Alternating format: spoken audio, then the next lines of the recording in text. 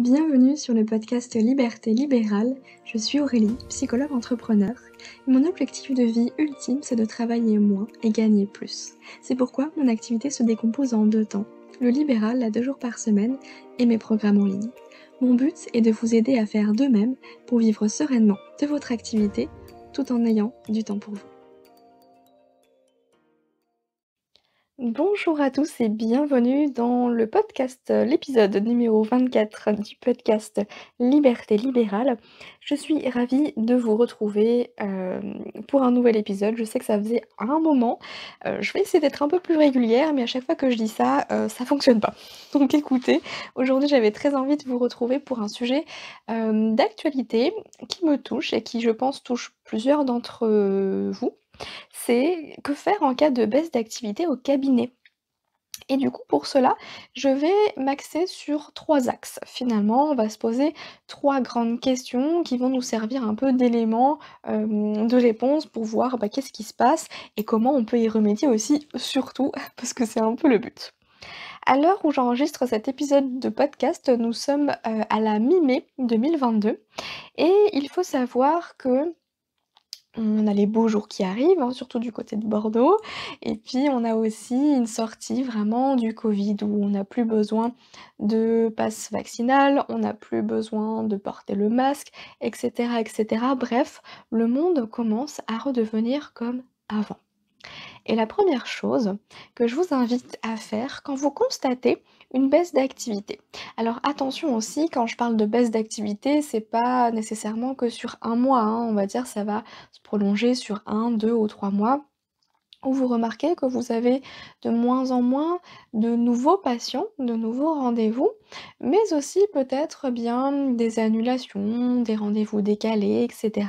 Bref, tout un tas de choses qui bougent dans votre agenda, parfois du jour au lendemain, qui peut être assez frustrant, et euh, qui nous amène à nous poser la question, ok, il y a quelque chose qui se passe parce que du coup, c'est pas comme les mois précédents où il y avait une espèce de routine qui s'installait. On avait tant de nouveaux patients, on avait tant de patients réguliers, etc., etc. On constate vraiment un avant et un après. Donc à ce moment-là, la première chose à faire, c'est de vous poser la question, bah, qu'est-ce qui se passe actuellement dans le monde? Alors oui, c'est un peu une question qui englobe énormément de choses, mais je pars de, mmh, cette question-là pour pour m'appuyer en fait sur des éléments extérieurs. Qu'est-ce qui se passe actuellement dans le monde, dans la France, bref, euh, qui touche tout le monde finalement, pour que ça ait un impact sur votre cabinet? Et potentiellement que ça n'a pas d'impact, hein, mais ça peut être une première piste de réflexion. Je vous ai parlé dans un premier temps, eh bien des beaux jours qui commencent à arriver. Et on le sait, quand on est en libéral, eh bien, il y a certaines personnes, notamment certains patients, qui préfèrent aller à la plage plutôt que d'aller à son rendez-vous chez le psy. Et oui, ça arrive, c'est humain, et c'est comme ça et ce sera toujours comme ça. Donc ça, ça peut expliquer aussi des rendez-vous décalés à la dernière minute ou potentiellement même des lapins de nouveaux patients finalement qui prennent même pas la peine de vous prévenir. Soit. Les beaux jours ont un effet aussi, sur vos patients parce que, mine de rien, ça joue aussi sur le moral, hein. Quand il fait beau, bah, tout de suite ça va mieux en tout cas on se persuade que ça va mieux parce que tout de suite, on a envie de sortir, on a envie de faire de nouvelles choses etc., etc. Donc, premier élément, effectivement les beaux jours, mais ça c'est quelque chose d'assez cyclique que l'on retrouve assez régulièrement d'année en année. Donc bon, c'est un premier point à prendre en considération, soit. La deuxième chose, eh bien, c'est ce dont j'ai abordé déjà dès le début du podcast, c'est que là, on est dans une ère après Covid. Alors je l'appelle comme ça, sachant que je ne sais pas du tout ce qui va se passer dans les prochains mois, bien entendu, on croise les doigts. Mais mine de rien, ça fait deux ans. Ça fait deux ans qu'on est confiné, ça fait deux ans qu'on est en restriction, qu'on doit faire attention, gestes barrières, vaccins, masques, etc., etc. Et là, ça commence justement à s'effacer, à se libérer. On commence à retrouver le monde d'avant. On n'est pas dans le monde d'après là, mais on est dans le monde d'avant. bien sûr, il y a des choses qui restent, qui marquent les esprits, hein. on n'efface pas tout ce qui s'est passé, ça c'est clair. Mais du coup, le fait que l'on sorte de cette, heu, crise sanitaire de plus en plus, même si le covid est toujours présent, hein, c'est une certitude, et bien, les gens vont être dans un autre état d'esprit aussi, dans un autre, hem, dans une autre envie de consommation. C'est-à-dire qu'avant, il faut se dire que le seul moyen pour pouvoir sortir, bah, c'était justement d'avoir une bonne excuse, un prétexte pour sortir et aller à des rendez-vous, heu, médicaux, chez le psy et cetera et ben, c'était validé pour pouvoir sortir, notamment quand on avait la fameuse attestation, hem, de sortie. Je sais même plus comment elle s'appelait, mais je crois que c'est ça, attestation de sortie, autorisation de sortie, bref. Et ben, du coup, les gens, effectivement, ils avaient que ça à faire, de trouver une excuse pour sortir. Et pour vous donner un exemple, j'avais des étudiants qui venaient me voir, mais qui prenaient les créneaux de 19:00 par exemple, parce que, heu, c'était braver l'interdit. Quand le couvre-feu était à 18:00 et bah, OK, on va prendre un rendez-vous à 19:00 parce que c'est interdit, mais moi j'ai le droit parce que j'ai mon petit papier, mon attestation de sortie, parce que je vais voir ma psy. Et voyez un petit peu cet esprit de contradiction, c'est que même si les étudiants, ils étaient disponibles toute la journée, et ben, c'était les créneaux du soir qu'ils privilégiaient pour pouvoir sortir, pour pouvoir braver justement cet interdit. Et on le sait, on fonctionne tous comme ça, notre cerveau, il est calibré comme ça. Quand c'est interdit, ben, on en a envie, justement. Donc ça, c'est une première chose. Ensuite, vu que on avait énormément de restrictions, on pouvait plus aller au cinéma, on pouvait plus aller au restaurant et cetera. Enfin bref, on avait plein mmh, d'endroits culturels comme ça, heu, ou juste sociaux qu'on pouvait plus, où on pouvait plus aller dépenser notre argent. Ce qui fait que les gens, je vais pas dire avaient trop d'argent, non, on en a jamais assez, mais les gens ne dépensaient plus leur argent là où ils avaient l'habitude d'en dépenser avant. Aller boire un verre, heu, aller au cinéma, au théâtre et cetera et cetera. Ce qui fait qu'aujourd'hui, bah, la priorité, elle a complètement changé. Et là, je parle uniquement des patients, on va dire, hem, qui vont bien, hein. Quand je dis ça, je mets des guillemets parce que, bien sûr, ceux qui ont, heu, des pathologies lourdes ou qui sont en, proie aux crises d'angoisse et cetera, si c'est toujours présent, bien sûr que leur santé mentale va être leur priorité. Mais ces patients-là, en général, on les a toujours aujourd'hui, donc ça, c'est pas, c'est pas un souci. Mais je parle des autres, des autres qui auraient envie de travailler sur eux, pour la gestion des émotions, pour l'arrêt du tabac ou que sais-je encore, bah, ces personnes-là aujourd'hui, certainement que leur priorité, c'est pas eux pour l'instant, enfin, c'est eux, mais pas leur santé mentale, ça va être plutôt leur santé, hem, j'ai envie de dire, heu, sociale, à ce moment-là. D'abord, on va privilégier le fait de sortir avec des amis au resto, faire plein d'activités et cetera, aller à la plage et ça, bah, on va préférer justement investir, mmh, l'argent dans ces activités-là extérieures. Donc oui, ces éléments extérieurs sont à prendre en compte et ça peut tout à fait impacter votre activité au cabinet, votre activité libérale. Ça, c'est un premier point. Le deuxième point, c'est de vous poser la question: «Est-ce que je suis assez visible?» parce que mine de rien, d'année en année, il y a de plus en plus de thérapeutes en tout genre qui s'installent aussi en libéral. Le monde du digital a permis justement à beaucoup de faire une reconversion professionnelle, de se rendre compte que leur métier d'avant ne faisait plus sens et se reconvertissent dans les métiers du bien-être, de l'accompagnement et cetera et donc heu, bah, on a plus de personnes aussi qui font ce métier-là, c'est une réalité. Donc est-ce que vous êtes assez visible? Pour cela, je vous invite à regarder les statistiques de votre fiche Google My Business, par exemple, et j'espère que vous le faites de manière assez régulière, ne serait-ce qu'une fois par mois, pour voir un petit peu où vous en êtes. Regardez si vos stats ont bougé. Est-ce que ça a baissé? Est-ce que ça a augmenté? Heu, ça, c'est aussi justement hyper précieux parce que moi, je sais quand mes stats Google My Business baissent, bah, forcément, j'ai moins de patients aussi, heu, qui prennent rendez-vous, moins de nouveaux patients. Ça, c'est une réalité. Ensuite, regardez du côté de votre site web. Est-ce que votre site, vous l'avez mis à jour récemment? Est-ce que vous avez publié, heu, de nouveaux articles, par exemple? Est-ce que vous avez mis à jour vos horaires, vos outils, vos formations et cetera? Mais ça, faites-le parce que le fait de mettre à jour votre site internet, ça envoie le message à Google que, bah, il est pas mort votre site. Quelqu'un s'en occupe. Donc ça, c'est un bon point. Et regardez aussi du côté de votre SEO, c'est-à-dire de votre référencement naturel. Et là, ça va être, de regarder la section blog, vos articles. Est-ce que vous avez écrit de nouveaux articles récemment? Bah, ce serait peut-être intéressant d'en publier un nouveau pour relancer un petit peu justement, heu, votre visibilité à ce moment-là et quand vous partagez un nouvel article et bien, partagez-le aussi sur votre fiche Google My Business dans un post, mais aussi sur vos réseaux sociaux, par exemple. Si jamais vous êtes un peu perdu sur ce thème de la visibilité, sachez que vous pouvez tout à fait retrouver dans les notes de l'épisode, heu, le lien de mon site internet sur lequel vous allez pouvoir vous former. Vous former à maîtriser votre fiche Google My Business et vous former au référencement naturel, qui est une formation qui a été créée et pensée pour les thérapeutes. Écrire un minimum d'articles qui vous apportent un maximum de résultats, de visibilité. Donc vous avez cette opportunité-là aussi pour justement combler, bah, les périodes un peu de creux. Parce que là aussi on peut s'en saisir, c'est que, OK, mon activité au cabinet baisse, qu'est-ce que je peux faire aussi? Heu, des choses peut-être que j'ai envie de faire depuis un moment, mais que je n'avais pas le temps de faire parce que, heu, bah, voilà, j'avais, heu, plein de rendez-vous, plein de projets à ré à réaliser. Bah, à ce moment-là, ça peut être aussi de reprendre un peu les bases, les fondamentaux.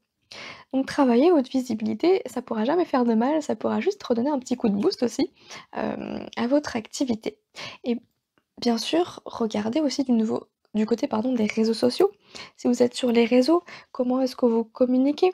Est-ce que vous êtes active ou non? Bah, ça peut être intéressant de pouvoir relancer un petit peu tout ça, faire des posts, des stories, hem, dites que justement, vous avez des créneaux de disponibles au cabinet. Si vous ne parlez pas de vos services, les gens ils peuvent pas deviner. Donc dites-le. Et en plus sur Instagram maintenant, on a la possibilité de mettre un lien directement dans les stories. Ça c'est génial. Mettez le lien de votre agenda en ligne, comme ça les gens ont juste à cliquer et prendre rendez-vous et basta. Ensuite, hem, la 3e question que je vous invite à vous poser et ça, ça va faire partie du 3e é élément, heu, qui peut, heu, nous donner des indications sur, qu'est-ce qui se passe finalement par rapport à cette baisse d'activité? Et bien c'est: «Que se passe-t-il en ce moment dans ma vie personnelle?» parce qu'on oublie souvent aussi cette partie-là. Tout à l'heure, on a parlé des éléments extérieurs avec le covid et cetera, en tout cas l'après-covid. Là, on va plutôt, heu, s'intéresser aux éléments intérieurs, je vais les appeler comme ça. Heu, c'est de s'intéresser à qu'est-ce qui se passe pour soi. Pour soi en tant que personne, pas forcément en tant que thérapeute, mais aussi en tant que femme, homme, heu, mari, épouse, mère, père, bref, peu importe, vous avez compris. Qu'est-ce qui se passe là dans votre vie familiale? Dans votre vie sociale? C'est peut-être là aussi que vous, vous avez un petit coup de mou. Ça peut être de vous demander simplement: «Mais comment est-ce que vous vous sentez? Est-ce que vous êtes toujours animé par ce que vous faites? Est-ce que l'accompagnement c'est toujours, heu, la bonne voie pour vous?» Comment vous sentez-vous en termes d'énergie? Je ne vais pas vous le cacher, ces derniers mois ont été assez compliqués pour moi au niveau personnel. Beaucoup de remises en question sur plusieurs plans et heu, une baisse de motivation aussi au cabinet. En tout cas, avant d'aller au cabinet, j'avais pas cet élan, j'avais pas cette envie. C'était presque presque comme, heu heu, en salarié quand, heu, arrive le lundi et il fallait se dire: «Oh demain, il faut reprendre». C'était un peu ça que j'étais en train de vivre. Et mine de rien, beh, cet élan-là, cette énergie-là, beh, ça se ressent. Et et moi je suis persuadée que ça s'est ressenti aussi certainement que ce soit peut-être dans mes séances, même si j'ai tout fait pour, heu, me donner à 100% aider mes patients du mieux que je peux et ça, c'est hyper important pour moi, même si j'avais pas envie d'y aller, une fois que j'y étais, c'était super. Néanmoins, ce manque de motivation, d'énergie et bah, ça peut conduire aussi finalement, heu, à attirer la même chose. Si je vous parle un peu de la loi de l'attraction, ça va peut-être vous parler, c'est qu'on attire à soi, hem, ce dont on est en train de, mmh, ressentir, de vibrer.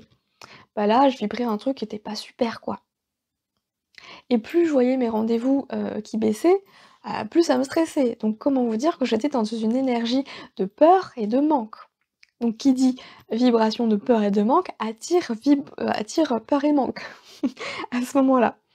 Donc c'est important aussi de pouvoir se poser et de voir qu'est-ce qui se passe pour nous en tant qu'être humain à ce moment-là et l'idée c'est pas de, heu, d'arrêter son activité, mais juste de prendre aussi du temps pour soi.